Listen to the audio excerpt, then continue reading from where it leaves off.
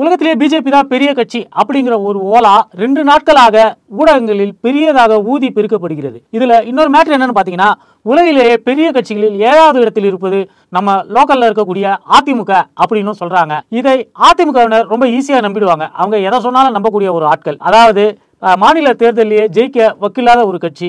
கடைசியாக நடந்த உள்ளாட்சி தேர்தலில் இருபத்தஞ்சி சதவீதம் வாக்குகளை கூட பெற முடியாத ஒரு கட்சி. உலகத்திலேயே பெரிய ஏழாவது கட்சி அப்படின்னு சொன்னால் அதை வேற யார் நம்புவாங்க? அதிமுக தவிர்த்துட்டு. இப்படிப்பட்ட நிலைமையில் இந்த மாதிரியான செய்திகள் வந்து எப்படி வெளியில் வருது? பிஜேபி தான் இருக்கிறதுலே பெரிய கட்சி உலகத்திலே பெரிய கட்சி. பிஜேபியோட பெரிய கட்சி எதுவுமே கிடையாது.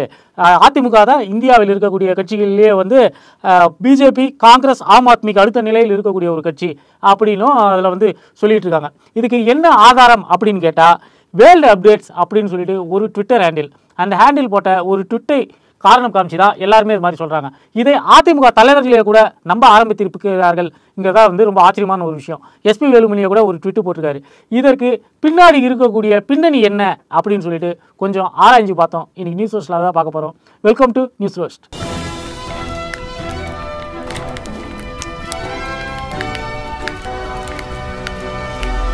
world அப்டேட்ஸுங்கிறது வேறு ஒன்றும் கிடையாது. சும்மா ட்விட்டரில் ஒரு ஹேண்டில் அது. அதை ஒரு ஐம்பதாயிரம் பேர் கூட இன்னும் ஃபாலோ பண்ணலன்னு வச்சிங்களேன் யாரோ ஒரு தனிநபர் நடத்தக்கூடிய ஒரு விஷயம் தான் அந்த வேர்ல்டு அப்டேட்ஸில் எந்த மாதிரியான செய்திகள் இருக்குதுன்னா உலகிலேயே தலை சிறந்த பத்து எழுத்தாளர்கள் உலகிலேயே தலை சிறந்த பத்து பாலங்கள் இது மாதிரியான விஷயங்களாக தான் பத்து டாப் டென் அப்படிங்கிற மாதிரியான அடிப்படையில் இருக்கக்கூடிய விஷயங்களை தான் அவங்க சொல்லுவாங்க. அவங்க உலகத்திலே கேன்சர் எந்த நாட்டில் இருக்கிறவங்களுக்கு அதிகமாக இருக்கிறது? இது போன்ற தகவல்களை வந்து அவர்கள் கொடுப்பாங்க. அந்த மாதிரி அவங்க கொடுத்துருக்கக்கூடிய ஒரு தகவல் தான் உலகிலேயே பெரிய கட்சி பாரதிய ஜனதா கட்சி. உலகிலேயே ஏழாவது பெரிய கட்சி நம்ம அதிமுக நம்ம லோக்கலில் இருக்கக்கூடிய கரகாட்ட கோஷ்டியான அதிமுக அப்படிங்கிறது. எந்த அடிப்படையில் நீங்கள் இதை கொடுத்துருக்கீங்க அப்படின்னு அவங்கள கேட்டோம்னா அவங்க என்ன சொல்கிறாங்கன்னா ரேங்க்டு பை ஹையஸ்ட் மெம்பர்ஷிப் அப்படின்னு சொல்கிறாங்க அதாவது உறுப்பினர்கள் எண்ணிக்கையில் மிக அதிகமாக இந்த கட்சிகள் எல்லாம் பெற்றிருக்கின்றன. அதோட அடிப்படையில் தான் உலகிலேயே மிகப்பெரிய கட்சியாக பாரதிய ஜனதா கட்சி இருக்கிறது நாங்கள் ரேங்கிங் கொடுத்துருக்கோம் அப்படின்னு சொல்கிறாங்க ரெண்டாவதாக அவர்கள் கொடுத்துருக்கக்கூடிய கட்சி என்னன்னு பார்த்தீங்கன்னா சைனீஸ் கம்யூனிஸ்ட் பார்ட்டி இதுதான் நமக்கு வந்து ஒரு புரியாத ஒரு புதிராக இருக்கிறது. இந்தியாவில் நூற்றி நாற்பது கோடி பேர் இருக்கும். கிட்டத்தட்ட நூற்றி நாற்பது கோடி பேர் வந்துட்டோம்னு வச்சுக்கலாம் இந்த நூற்றி நாற்பது கோடி பேர் இருக்கக்கூடிய இந்த தேசத்தில் இருக்கக்கூடிய ஒரு கட்சி வந்து உலகின் பெரிய கட்சியாக இருக்கிறதுங்கிறதை கூட ஓரளவுக்கு நம்பிடலாம். ஆனால் இந்தியாவை விட அதிக மக்கள் தொகை கொண்ட ஒரு நாடு சீனா. சீனாவில் எதிர்க்கட்சிகள்ங்கிறது கிட்டத்தட்ட கிடையாது. அங்கே வந்து ஒரே கட்சி தான் அது சீன கம்யூனிஸ்ட் கட்சி தான் ஆனால் அந்த கட்சியை விட உலகிலேயே அதிக அரசியல் கட்சிகளை கொண்ட நாடான இந்தியாவில் இருக்கக்கூடிய பாஜக வந்து அதை பீட் பண்ணி அதுவும் எப்போ எட்டு கோடி உறுப்பினர்கள் வித்தியாசத்தில் பீட் பண்ணியிருக்கான். அதாவது பாஜகவுக்கு பதினெட்டு கோடி உறுப்பினர்கள் இருக்கிறாங்களாம். சீன கம்யூனிஸ்ட் கட்சிக்கு பத்து கோடி உறுப்பினர்கள் கூட கிடையாது அப்படின்னு சொல்லிட்டு அந்த கணக்கெடுப்பில் வேர்ல்டு அப்டேட்ஸ் கொடுத்துருக்கு. வேர்ல்டு அப்டேட்ஸ் இந்த முடிவுக்கு எப்படி வருகிறது? இவங்க வந்து அந்தந்த ஊரில் போயிட்டு ஏதாவது சென்சஸ் மாதிரி ஏதாவது எடுத்தாங்களா? ஒவ்வொரு கட்சிக்கும் இவ்வளோ உறுப்பினர்கள் இருக்காங்கிறத வந்து எந்த முறையில் ஆடிட் செய்தார்கள் அப்படின்னு பார்த்தோம்னா அங்கே தான் ஒரு ட்விஸ்ட்டு. அவங்க விக்கிபீடியாவில் இப்படி போட்டிருக்கு அப்படின்னு சொல்லிட்டு சொல்கிறாங்க விக்கிபீடியாவில் அப்படி என்ன போட்டிருக்குன்னு பார்ப்போம். விக்கிபீடியாவில் பாஜகவுக்கு பதினெட்டு கோடி பேர் உறுப்பினர்களாக இருக்கிறார்கள் அப்படிங்கிற ஒரு தகவல் அதில் இருக்கிறது. அதில் அதே அதே விக்கிபீடியா பக்கத்தில் தான் சீன கம்யூனிஸ்ட் கட்சிக்கு பத்து கோடி உறுப்பினர்கள் இருக்காங்க. பத்து கோடிக்கும் சற்று குறைவான உறுப்பினர்கள் இருக்கிறாங்க அப்படின்னு.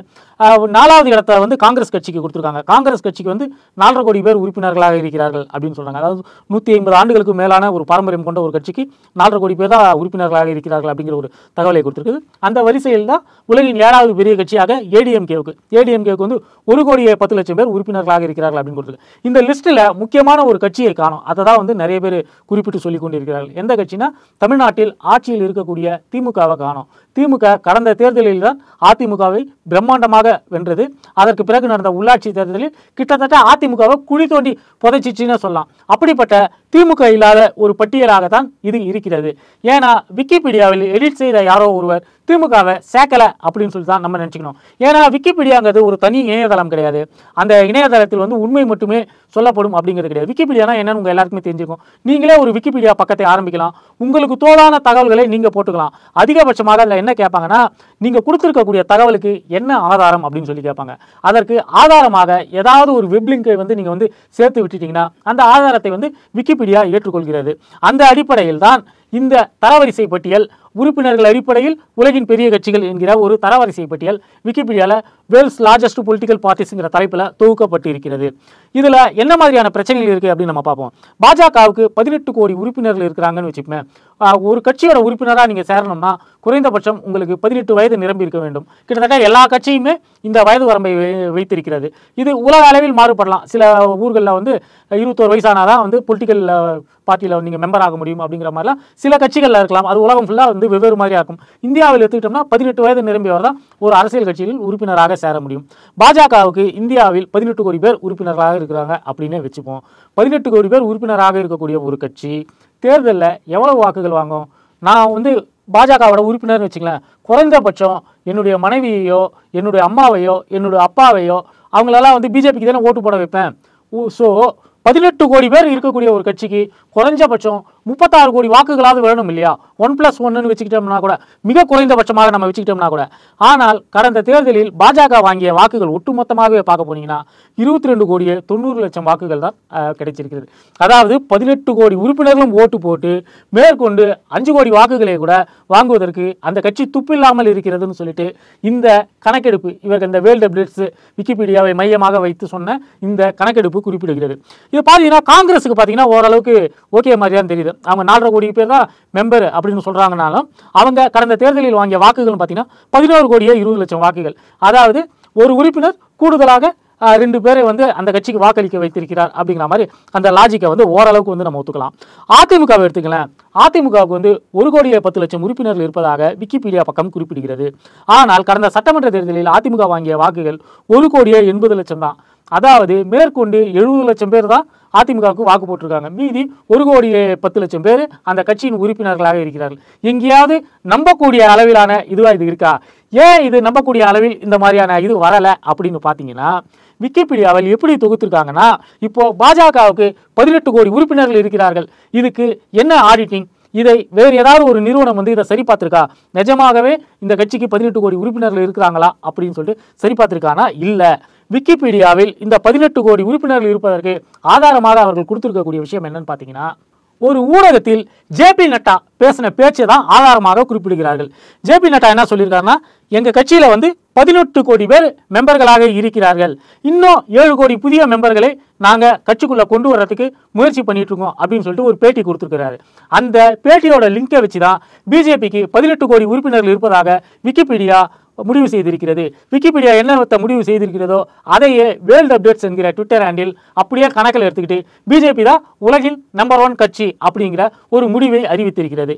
இதே கதை தான் அதிமுகவுக்கும். அதிமுகவுக்கு ஒரு கோடியே பத்து லட்சம் உறுப்பினர்கள் எங்கே இருக்கிறார்கள் அப்படின்னு கேட்டிங்கன்னா ஒரு கோடியே பத்து லட்சம் உறுப்பினர்கள் இருக்கிறார்கள்னு ரெண்டாயிரத்தி பதினெட்டில் எடப்பாடியும் பன்னீர்செல்வமும் கூட்டாக சேர்ந்து ஒரு அறிக்கை வெளியிடுகிறார்கள்.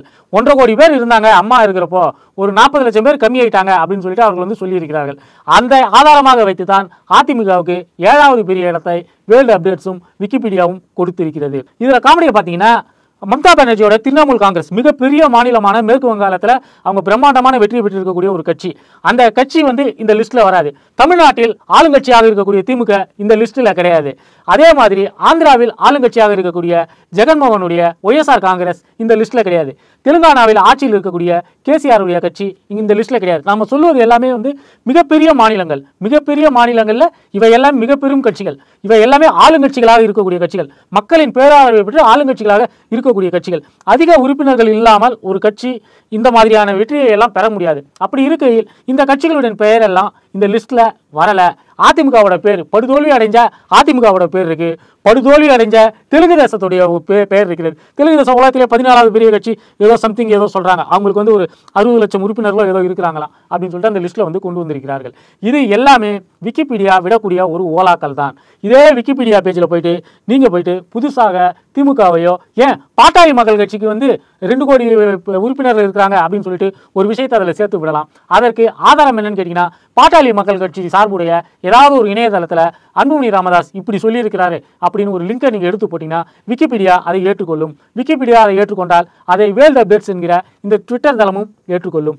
இது எல்லாமே வந்து ஒரு சாதாரணமாக இவங்க கட்சியை ப்ரொஜெக்ட் பண்ணிக்கிறதுக்காக இவர்கள் செய்யக்கூடிய ஒரு அசிங்கமான ஒரு செயல்பாடுகளாக தான் இருக்கிறது. ஏடிஎம்கே ஒரு கோடியே பத்து லட்சம் உறுப்பினர்களை கொண்டு இருக்கிறதுன்னு சொல்கிறப்போ ஒரு கோடியே எண்பது லட்சம் ஓட்டு தான் ஏடிஎம்கே வாங்கியிருக்கு அப்படின்னா திமுக கடந்த சட்டமன்ற தேர்தலில் ரெண்டு கோடியே ஒன்பது லட்சம் ஓட்டுகள் வாங்கியிருக்கிறது. அதாவது ஏடிஎம்கேவை விட முப்பது லட்சம் வாக்குகள் அதிகமாக வாங்கியிருக்கக்கூடிய கட்சி திமுக. ஆனால் திமுகவினுடைய பெயர் இந்த லிஸ்டிலேயே கிடையாது.